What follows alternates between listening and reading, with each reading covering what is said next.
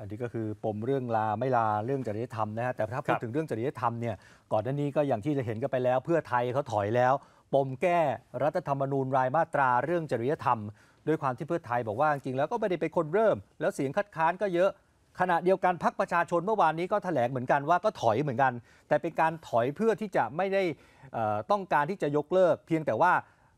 ไม่ไม่อยากให้มีการหยิบไปอ้าง แล้วมันจะไปกลบ7แพ็กเกจซึ่งทางพักประชาชนเนี่ย เขาก็เตรียมจะเสนอแก้รายมาตราในหลากหลายประเด็นทั้งหมด7แพ็กเกจอยู่แล้ว ไม่ว่าจะเป็นเรื่องของยกเลิก ยุทธศาสตร์ชาติ 20 ปีนะฮะเรื่องของลบล้างผลพวงรัฐประหาร เมื่อวานนี้คุณไอติมก็แถลงไปแล้ววันนี้ เราได้รับการเปิดใจเพิ่มเติมจากหัวหน้าพักประชาชนนะฮะคุณนัทพงษ์เรืองปัญญาวุฒินะฮะคุณผู้ชมครับให้สัมภาษณ์กับเรายืนยันว่าประเด็นเรื่องจริยธรรมเนี่ยไม่ได้ยกเลิกไปเลยนะว่าจะไม่แก้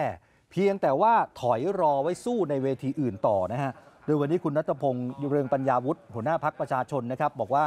พักประชาชนเนี่ยเสนอร่างแก้ไขรัฐธรรมนูญรายมาตราไว้ทั้งหมด 7 แพ็กเกจด้วยกัน แต่ดูแล้วการแก้ไขทั้งฉบับณวันนี้เนี่ยโอ้โหมันดูยากลำบากริบหรี่เหลือเกิน เรื่องการเริ่มทำประชามติก็ยังไม่มีแนวโน้ม ก็กลัวว่ามันคงไม่ทันการเลือกตั้งครั้งหน้าปี 70 เพราะฉะนั้นยืนยันว่าไม่ได้จะยกเลิกการแก้ไขเรื่องจริยธรรมนักการเมือง เพียงแต่แค่พักเอาไว้ก่อน เพราะเชื่อว่าหากข้อเสนอชุดดังกล่าวในเรื่องจริยธรรมเนี่ยเข้าไปในสภา ในขณะที่ตอนนี้ก็เห็นว่าพักร่วมเนี่ยทุกพักเลยถอยออกมา สุดท้ายก็เกรงว่าอาจจะถูกใช้เป็นข้ออ้างจากบรรดาพักร่วมในการปัดตกข้อเสนอ ชุดอื่นๆ แพ็กเกจอื่น ๆ ของพรรคประชาชนทั้งหมด จึงตัดสินใจว่าเพื่อป้องกันความเสี่ยงตรงนี้ฮะขอพักเรื่องจริยธรรมเอาไว้ก่อน แล้วก็เดินหน้าต่อเสนอรายมาตราประเด็นอื่น ๆ ที่เหลือแต่ละแพ็กเกจ แล้วก็อาจจะนำเรื่องนี้นะหมายถึงเรื่องจริยธรรมเนี่ยไปสู้ต่อในเวทีอื่นต่อไปฮะก็ถ้ามันถูกนำไปเสนอในรัฐสภาเมื่อไหร่นะครับแล้วก็ถ้าเอ่อเรายังเดินหน้าประกบต่อไปด้วยกันทั้งชุดทั้ง 7 ชุดเนี่ยอาจจะถูกโจมตีนะครับในการประชุมรัฐสภาก็ได้นะครับแล้วก็ทางพรรคร่วมรัฐบาลในเมื่อตอนนี้ทุกพรรคถอยออกมาหมดแล้วเนี่ยเขาอาจจะใช้เล่นประเด็นนี้ประเด็นเดียว เรื่องของมาตรฐานทางจริยธรรม แล้วก็ทำให้ข้อเสนอดีๆของเราอีกอีกหชุดที่เหลือเนี่ยถูกปัดตกไปด้วยกันทั้งหมดนะเพราะฉะนั้นเพื่อป้องกันความเสี่ยง ซึ่งเราเองก็มองว่าอีก 6 เรื่องที่เหลือมีความสำคัญไม่แพ้กันเนี่ยเราก็เลยเคิดว่าพักเรื่องนี้ไว้ ในเนื้อความชัดเจนของพักร่วมรัฐบาลเองเนี่ยเขาเขาปฏิเสธเรื่องนี้แล้วนะเพื่อที่เราจะได้เดินหน้าการเสนอร่างแก้ไขรัฐมนูญรายมาตราในส่วนที่เหลือได้ต่อ ส่วนประเด็นเสียงที่ตั้งก็สังเกตว่าถ้าจะแก้เรื่องจริยธรรมเนี่ยมันจะเป็นการแก้เพื่อผลประโยชน์ของพวกตัวเองหรือไม่ คุณยุทธพงศ์บอกว่าถ้าไปดูในรายละเอียดของพรรคประชาชนเนี่ยเราไม่ได้แก้จริยธรรมเฉพาะให้กับนักการเมือง แต่เราแก้ทั้งระบบ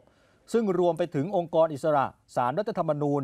ยืนยันว่ามาตรฐานจริยธรรมควรจะมีกฎกติกา แต่ว่าเป็นสำหรับองค์กรนั้นๆ แทนที่จะออกแบบสำหรับองค์กรนั้น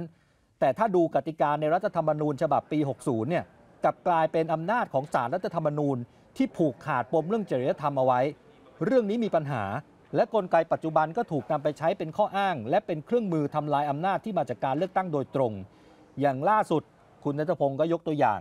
ประเด็นที่มีนักร้องนะครับไปยื่นร้องกรณี 100 สส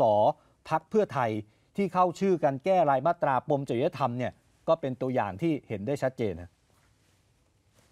ต้องไปดูในรายละเอียดนะครับเออแล้วผมก็เชื่อว่าในกระบวนการยุติธรรมเองเนี่ยสุดท้ายเขาก็ต้องลงไปดูในเรื่องของเนื้อหาที่ยื่นร่างนะครับ ซึ่งผมเชื่อว่า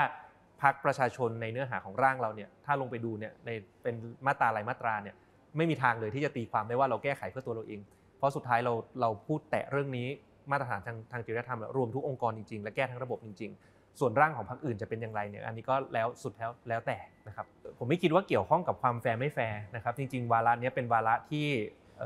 เห็นตรงกันในหลาย ๆพักว่าเป็นสิ่งที่ต้องแก้ไขนะครับส่วนบริบททางการเมืองที่เปลี่ยนแปลงไปอย่างที่เราเห็นตามหน้าข่าว มีการแถลงว่าเกิดจากการที่มีพักร่วมรัฐบาลที่เป็นพักใหญ่บางพักถอยก่อนหรือเปล่าทำให้พักเพื่อไทยถอย เพราะฉะนั้นจะเห็นว่าปัจจัยตามหน้าข่าวที่เกิดขึ้นเนี่ยไม่ได้เกี่ยวอะไรกับพรรคประชาชนเลยนะครับโดยเฉพาะอย่างยิ่งผมคิดว่าเป็น ผลที่ทำให้เราต้องหยุดพักเรื่องนี้ไว้ก่อน เพราะเราคิดว่าเราไม่อยากถูกเอามาใช้เป็นข้ออ้างในการถูกโจมตีทางการเมืองในการประชุมรัฐสภาอะเพราะฉะนั้นนะครับคุณเทงก็ยืนยันนะครับว่าคือด้วยความที่การแก้ทั้งฉบับเนี่ยดูไม่ค่อยมีอนาคตในช่วงนี้ครับแล้วก็จะเดินหน้าแก้รายมาตราต่อไปได้ใน